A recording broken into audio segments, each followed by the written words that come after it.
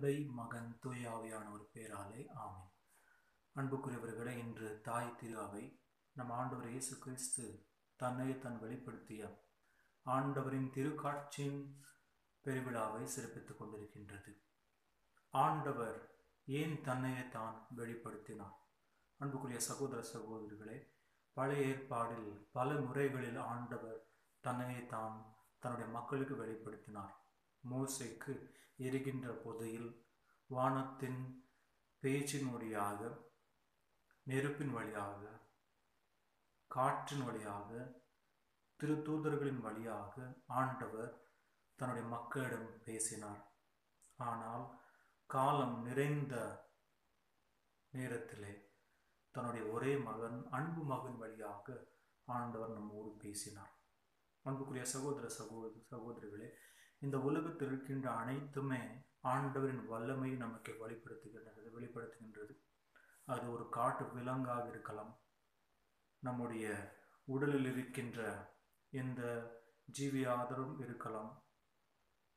பாய்ந்து ஓடுகின்ற ஆற்று ஆறுகள் நம் சுற்றில் இருக்கின்ற இந்த காற்று நாம் உணர்கின்ற உணவு அனைத்துமே ஆண்டவரின் வல்லமையை நமக்கு வெளிப்படுத்துகின்றது. ஆனால் ஆண்டவரின் உருவத்தை வெளிப்படுத்துவது ஒவ்வொருடைய மனிதனின் உறவம் ஏனென்றால் நாம் அனைவருமே ஆண்டவரின் உறவிலும் சாயலிலும் படைக்கப்பட்டவர் என்று நமக்கு திருவிழம் கூறுகின்றது. ஆண்டவரின் திரு உறவிலும் சாயலிலும் படைக்கப்பட்டவராக இருந்தாலும் பாவம் செய்ததால் இந்த மனுகுலத்திற்கு சாபம் வந்தது சாவு வந்தது. ஆனால் அந்த ஆண்டவரின் திருவுள்ளத்தை நிறைவேற்ற நம்மையே போல மனிதராக இந்த உலகத்தில் வந்து எதற்காக மனிதன் படைக்கப்பட்டான்? மனிதனின் வாழ்க்கையின் ஒவ்வொரு கேள்வியும் ஆண்டவரின் கேள்விக்கு சமமாக இருக்கின்றது. ஏனென்றால் ஆண்டவர் நம்மை போல மனிதராக இந்த உலகத்திலே வாழ்ந்தார். ஆகவே ஆண்டவர் வெளிப்படுத்துகின்ற ஒவ்வொரு ரகசியத்துமே மனித இனத்தின் பற்றி இருக்கின்றது. நம் ஆண்டவர் பற்றி சிந்திக்கின்ற ஒவ்வொரு கருத்துமே மனிதன் பற்றி இருக்கின்றது. ஏனென்றால் ஆண்டவர் பற்றி கேள்விகள் மனிதனுடைய கேள்விகளை கூட இணைந்திருக்கின்றது என்று ஒரு இறை அறிஞர் கூறுகின்றார். அன்புக்குரிய சகோதர சகோதரர்களே நம் ஆண்டவர் அன்பு என்று நாம் உணர்ந்தால் நாம் அன்போடு வாழ்கின்றோம். நம் ஆண்டவர் ஒற்றுமை என்று நாம் உணர்ந்தால் நாம் ஒற்றுமையோடு வாழ்கின்றோம். நம் ஆண்டவர் வல்லமை என்று ஒளி என்று நாம் உணர்ந்தால் நாமும் ஒளியில் நாம் ஜீவிக்கின்றோம். ஆகவே இன்றைய இந்த பெருவிழாவில் ஆண்டவரை தேடுகின்ற ஒவ்வொருவருக்கும் ஆண்டவர் தன்னையே தான் வெளிப்படு வெளிப்படுத்துகின்றார். அந்த வெளிப்படுத்துவதற்காக உதவியும் ஆண்டவர் அளிக்கின்றார் என்று நாம் உணர்கின்றோம்.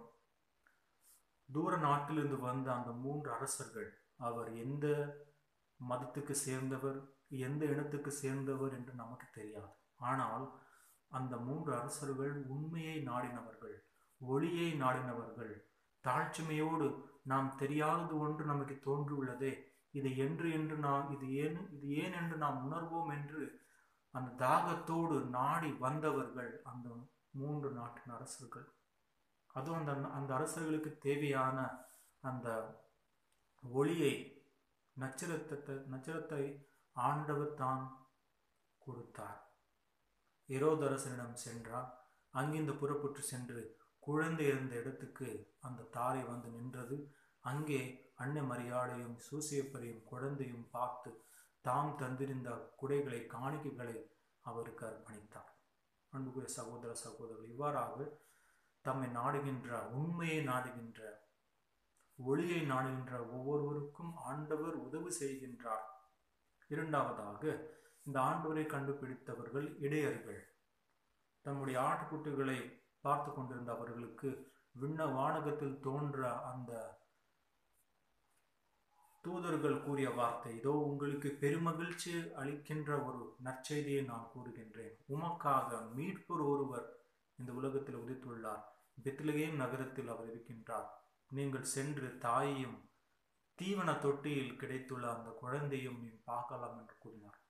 அன்புக்குரிய சகோதர சகோதரர்களே இத்தனை அளவுக்கு தான் அந்த தூதர்கள் கூறினாரே தவிர அன்னை மரியாள் சூசேப்பர் இருந்த அந்த அட்ரஸை அவர் கூறவில்லை. மாறாக இந்த இடையர்கள் தொடர்ந்து ஆனந்தத்தோடு மகிழ்ச்சியோடு சென்று அந்த குழந்தையை தேடி பார்த்து அன்னை மரியாளையும் சூசியப்பரையும் பார்த்து தமக்கு தூதரா கூறிய அனைத்தையும் அவருக்கு எடுத்து கூறினார். அன்புக்குரிய சகோதர சகோதரர்களே நம் ஆண்டவரை நம் பணத்தோடு நாம் பார்க்க முடியாது. நம்முடைய ஆணவத்தோடு நாம் பார்க்க முடியாது. மாறாக நம்ம இருக்கின்ற அந்த தாழ்ச்சியினை மனோபாவத்தோடு தான் ஆசிர்வதிக்கப்பட்ட ஃபுல்டன் ஜேஷின் என்கின்ற ஒரு ஆயர் கூறுகின்றார் ஆண்டவர் இரண்டு விதமான மனிதர்களுக்கு தம்மையே தான் வெளிப்படுத்துகின்றார். முதலாவதாக தமக்கு அனைத்துமே தெரியாது என்று உணர்ந்த தாழ்ச்சிமையோடு அந்த தாரையை பின்பற்று சென்ற அந்த அரசர்களுக்கு இரண்டாவதாக தமக்கு ஒன்றுமே தெரியாது என்று உணர்ந்திருந்த அந்த இடையர்களுக்கு. ஆகவே நம்முடைய ஆணவத்தால் நம்முடைய பணத்தால் நம்முடைய பட்ட பதவி நாம் நம் ஆண்டவரை பார்க்க முடியாது. நம் ஆண்டவரை பார்க்க வேண்டும் என்றால் தூய்மையான உள்ளத்தோடு தாழ்ச்சிமையான மனத்தோடு வாழ்ந்தோம் என்றால் அவரை நாடினோம் என்றால் ஆண்டவர் நம்மை தம்மையே தாம் நமக்கு வெளிப்படுத்துகின்றார். அந்த வெளிப்படுத்துவதற்காக ஆண்டவர் நமக்கு உதவிகளை செய்கின்றார். எவ்வாறு அந்த மூன்று அரசர்களுக்கு அந்த தாரை ஆண்டவர் இருந்த இடத்துக்கு அழைத்து சென்றதோ எவ்வாறு அந்த இடையர்களுக்கு அந்த தூதர்கள் தோன்றி அந்த நற்செய்தியை கூறினார் அவ்வாறு நம்முடைய ஒவ்வொருடைய வாழ்க்கையில் தனிப்பட்ட விதத்தில் ஆண்டவர் தம்முடைய ஒளிக்கும் தம்முடைய உண்மைக்கும் நம்மை அழைக்கின்றார். அந்த தாரை இன்று நம்முடைய பெற்றோராக இருக்கலாம் உண்மையை நமக்கு கற்றுக் கொடுக்கின்ற நம்முடைய பெரியவர்களாக இருக்கலாம் நம்முடைய நண்பர்களாக இருக்கலாம். சந்தோஷம் அமைதி தராத பாவ சூழ்நிலையாக இருக்கலாம். நம்முடைய குடும்பத்தில் நிகழ்ந்த ஏதான ஒரு நிகழ்ச்சியாக இருக்கலாம். ஏதாவது எது நம்மை உண்மைக்கும் ஆனந்தத்தின் ஊற்றுக்கு நம்ம அழைத்து செல்கின்றதோ அதே நம்முடைய வாழ்க்கையின் தாரை விண்மீனாக இருக்கின்றது. அன்புக்குரிய சகோதர சகோதரர்களே இதோ நாள்தோறும் நம்முடைய தம்முடைய ஒளிக்கும் உண்மைக்கும் வாழ்வுக்கும் அழைக்கின்ற கடவுளுக்கு நம்மையை நாம் அர்ப்பணித்து நமக்காக இத்தனை அளவுக்கு அன்பு செய்த அந்த கடவுளை பின்பற்றி நாம் தொடர்ந்து நம்முடைய இந்த மனித இயல்பில் அவரை போல அன்பு செய்து பிறருக்கு பணியாற்றல் செய்து அந்த கடவுளின் உறவுக்கு நம்மையே நாம் நாள்தோறும் அந்த கடவுளின் உறவிலும் சாயலிலும் நாம் வளர அதுவும் நமக்காக பிறந்த தீவன தொட்டில் இருக்கின்ற அந்த குழந்தை இயேசுவை அண்டி மன்றால் ஜபிப்போம். அவரை போல இந்த உலகத்தில் அன்போடு அமைதியோடும் வாழ ஆண்டவர் நம்மை ஆஸ்வதிப்பாராக எல்லாம் இறைவன் தந்தை மகன் தூய் ஆவியானவர் உம்மை ஆசிர்வதிப்பாராக. ஆமேன்.